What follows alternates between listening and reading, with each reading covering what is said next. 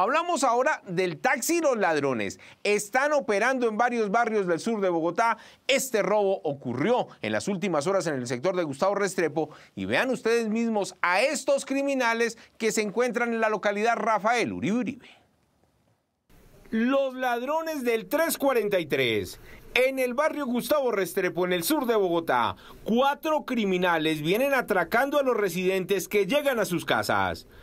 La última víctima, una pareja que en la carrera 12 con calle 27 Bisur estaban a contados metros de entrar a su vivienda.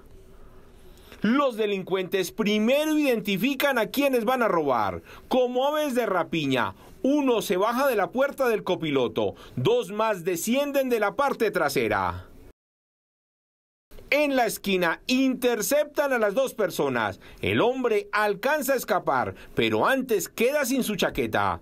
El conductor del taxi se sale para tratar de retenerlo.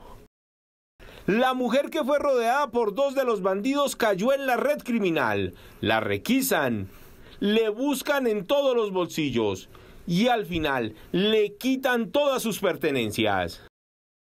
Luego todos los ladrones se suben al taxi de placas VFE 343.